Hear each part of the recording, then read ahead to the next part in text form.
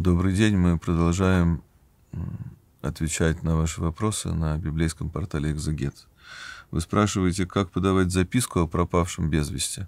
Конечно же, о здравии. Конечно же, о здравии.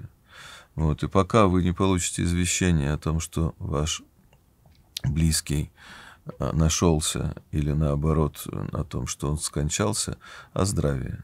Вот. У Бога нет мертвых, вот, у него все живы, поэтому вы точно не ошибетесь. Никакого греха с точки зрения церковной юриспруденции здесь нет.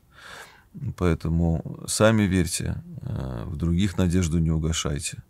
Потому что история человечества и человеческих географических открытий, и войн, и путешествий, и различных перемещений народов по лицу Земли знала и знает многочисленные примеры того, как через многие годы, а иногда даже через десятилетия, человек а, оказывался жив и был найден своими близкими, которые уж, конечно, и не чаяли его увидеть.